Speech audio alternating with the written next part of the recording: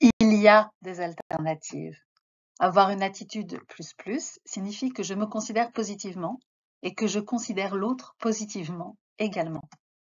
Se considérer ainsi permet d'avoir des relations respectueuses, dépourvues d'emprise et sans jeu psychologique. Prenez soin de vous, car vous êtes merveilleux et merveilleuse. Ne laissez ni les autres ni l'actualité s'immiscer dans votre vision de vous-même. Côtoyez des personnes qui vous considèrent favorablement. Soutenez votre entourage. Voyez le bien en l'autre.